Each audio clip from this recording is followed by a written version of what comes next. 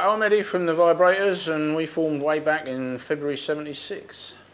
Um, well, we started before the punk thing happened really and there were a lot of bands doing the same thing we found out and uh, the punk thing came around with uh, Ron, Ron Watts with his 100 Club Festival in the September of 76 and uh, we'd played at his club a couple of times and he said, do you want to do the punk festival with uh, with uh, Chris Spedding and the Sex Pistols and the Clash and that. And we said, yeah, not off. And uh, that was it.